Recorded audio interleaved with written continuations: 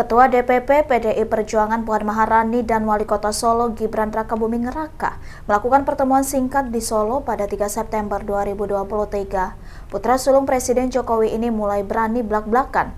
Ia siap menjadi bakal calon wakil presiden jika ditugaskan DPP PDI Perjuangan.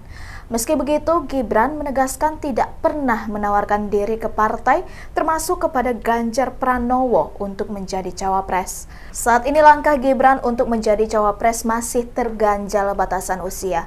Ia butuh lima tahun lagi atau berusia 40 tahun agar bisa berkompetisi di Pilpres. Batasan usia ini memang belum final karena sejumlah pihak mengajukan gugatan ke Mahkamah Konstitusi, namun Gibran pesimis MK mengabulkan gugatan tersebut. Selain Gibran, nama lain yang diisukan akan mendampingi Ganjar Pranowo adalah Sandiaga Uno, Yeni Wahid, hingga Ridwan Kamil. Ikuti terus berita menarik lainnya. Jangan lupa like dan share seluruh akun Tribun Medan.